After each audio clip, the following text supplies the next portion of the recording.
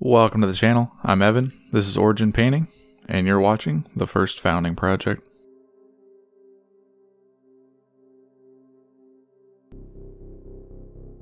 This is part 5 of this series, and let's see what the randomizer says. Raven Guard it is. Now let me just back up a little bit. The first founding project, something I'm doing for myself. My goal is to paint one Marine from each of the Loyalist first founding chapters. On screen, you'll get to see the paints that I'm using. If you'd like to mimic this, try it yourself. Just go ahead and substitute whatever you have that's similar. So far, this project's been really good for me. It's given me a chance to try a lot of different things. I've had a chance to paint up an Ultramarine, a Salamander, a White Scar, and a Dark Angel. These are all firsts for me. From painting Space Marines, I've mostly stuck to Blood Angels, as that's kind of my wheelhouse. I'm starting this model off the same way I do the majority of mine, laying down Stynylrez Black Primer. It's a really good consistent primer and gives a good solid base. Then I'm going to get my black, add a little bit of white, and a little bit of blue. It's going to give me this blue gray, and that's what I'm going to be using for my highlight. I'm going to play the blues that are in these highlights off the reds that are going to come in later.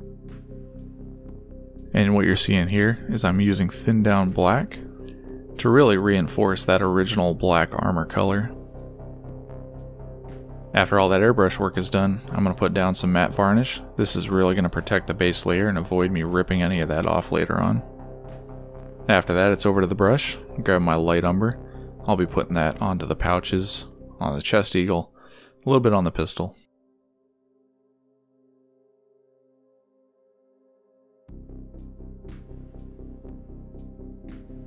After those browns are done, I'm going to start introducing my red. This is a bold pyro red. Right now it's just on the shoulder pauldron trim. Eventually it'll be on the pistol and the chain sword, and the purity seal on the backpack.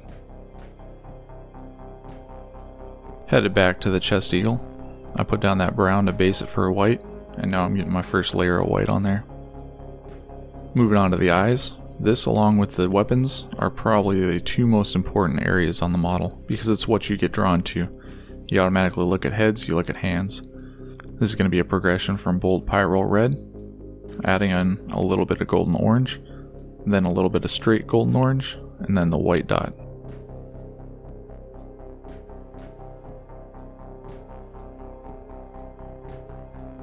After that's done, I'm going to mix up my coal black and my bold titanium white, get a nice gray color, and come in and do some highlighting on these joints. I decided that chest eagle wasn't quite enough, so I did a little bit of blue wash across it, and what you're seeing now is me reintroducing white to the highlights.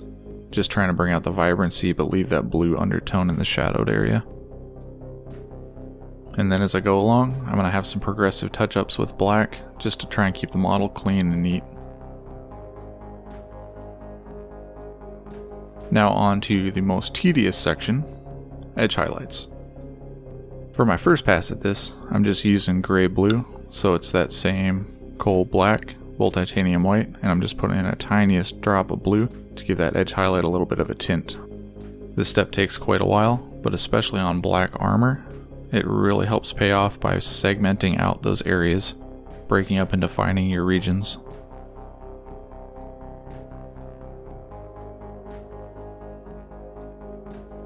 Moving on from there, I'm grabbing silver this is going to be the only metallic I'm using today. It's going on the chainsword teeth, on the pistol, and on the backpack.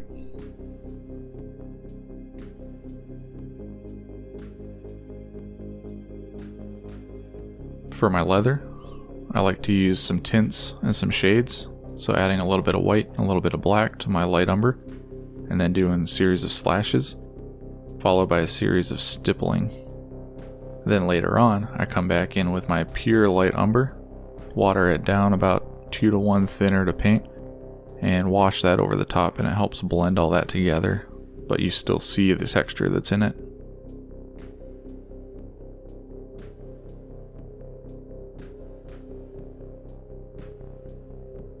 Moving back over to the chainsword, I'm glazing in some orange to get the tip of that blade a little bit brighter, just to make a fun transition, something that's visually interesting. Then I'm going to come in with white and edge highlight.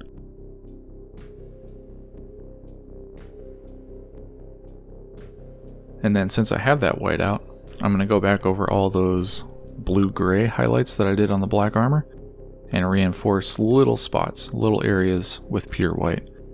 That's just going to make some visual interest in those key areas and give the edge highlight overall some variation.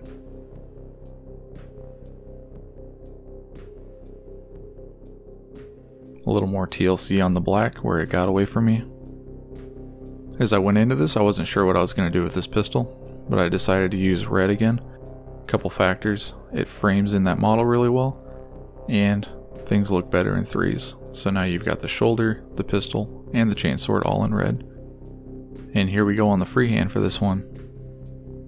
I have not done any Raven Guard before, so this is something new. It's a fun little experiment. I think the freehand challenge has been one of the biggest things for me. It's been fun to try and block out the images and try and think of how they're going to translate onto the actual armor panel. You can see here, even though I'm going up to pure white, I'm starting out with that, and that's just to get that good coverage, because that white is not going to cover over black very well. Then once it's all blocked in, I'm going to use my black and come back in and cut in all the feathers and all the different black lines that are inside of that shape. Unfortunately, the black that I'm using does not match up with the airbrush highlights that I had, those really nice transitions. So the end result was that around this freehand you had kind of some pure black that doesn't quite match up. If it was a display model, I'd definitely go back and clean it up. But as it's part of a multi-piece display base that is just going to sit on my shelf, I wasn't too worried about it.